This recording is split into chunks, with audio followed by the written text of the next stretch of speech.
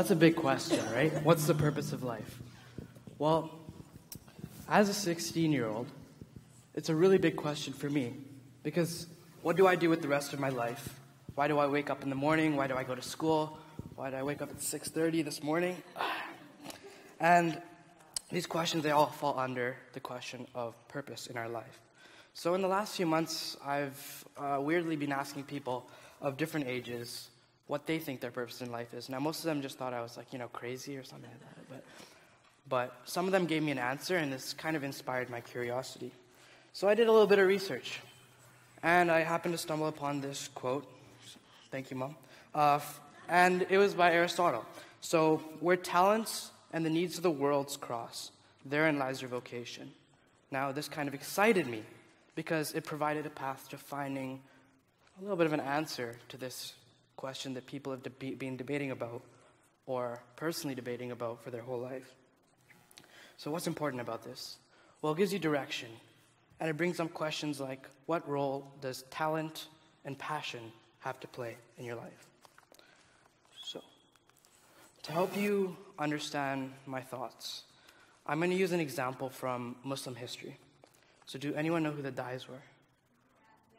Let's see, raise your hands. All right. All right, just, just to reiterate, uh, are teachers, and they share the interpretation of Islam, especially Ismailis. They were polymaths, which means that they were skilled in a variety of manners, such as math, philosophy, science, economics, business, and much more. They all had their passions, but they also had a bigger purpose. One specific example of a Dai is Nasir Khusro. He was a philosopher and a scholar. He started as a tax collector but he was always a deep thinker. He searched for existential questions, and by 40, 40 he found his answers with the Ismaili Dawa. His purpose was sharing his learning and being a teacher. Another example is a guy named Hassan-i Sabbah. He was also a Dai. At the time, his community were refugees. They needed a place to stay. So he found this place called the Fort of Alamut. It served the needs of the people. And the leaders at the time didn't really care about their people. So here he saw an opportunity. He combined his passion for social justice with his purpose, finding a place for his community to stay. He helped Alamut.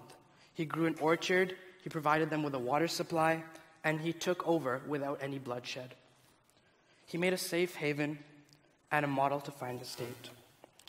The Seljuk leader at the time who was the former leader of Alamut before Hassan-i Sabbah, he didn't serve the people who needed him. Hassan-i Sabbah did what he loved, and uh, it was for the larger purpose of his community. So, how did these guys find their passion? How did they find their purpose in life? Well, I came to the conclusion that they asked the question, Who am I? So, what does asking who you are do? Well, it gives direction to what you enjoy doing in life, also known as your passions. Of course, you're going to have multiple passions in your life, and exploring them can help you find purpose. For Nasir Khusro, just finding the Ismaili faith was not the end, it was sharing it, which spoke to him as an intellectual and a polymath. So, let's go to the next slide, sir.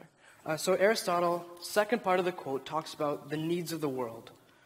Now, although we have, may have more than one purpose in life, I believe that we have an overarching one an obligation to this world and humanity.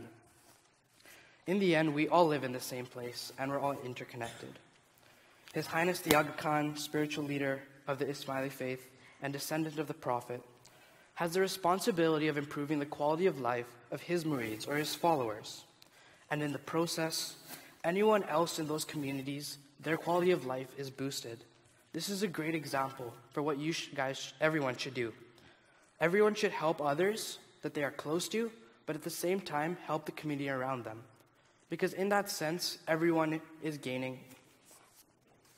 So, asking questions such as Who am I can lead to finding your passions and ultimately combining that with helping others.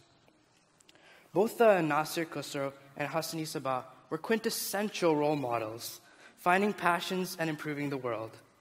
So, if any of you want to take anything away from this talk, especially if you're falling asleep or zoning out, then find what you enjoy, Incorporate it in your everyday life. Use your talents and passions to serve something bigger than just yourself. Everyone here today is the present and future of this world. We need to create the world that we want to live in. In his speech at the Parliament, the Canadian Parliament, His Highness the Aga Khan stated, The Canadian spirit resonates with a cherished principle in Shia Ismaili culture the importance of contributing one's individual energy on a volunteer basis to improving the lives of others. This is not a matter of philanthropy, but rather of self fulfillment, enlightened self fulfillment. Okay. Improving the world, it's not charity, it's fulfilling your potential as a human being. As you go through this conference today, may I suggest, suggest sorry, that you draw inspiration from the messages that are shared. Notice how all the talks involve identity, passion, and improving the world.